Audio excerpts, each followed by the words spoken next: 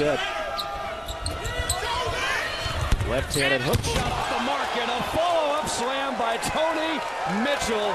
And in case you haven't heard, number five is a high riser. That's the leapers in college basketball. Tony Mitchell. Discipline plays through every possession. He's going to be key for them this year. Oh my goodness.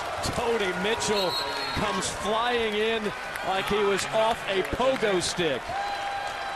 A gap, getting your paint right here. He's able to split Miller, get into the gap, and just deliver a pass to Tony Mitchell, who is just waiting to put on a show. If you're going to trap, if you're Miller, you have to trap. Almost another turnover. And a huge block from behind by Tony Mitchell. Who's active? Tony Mitchell is absolutely everywhere on both the defensive and offensive end.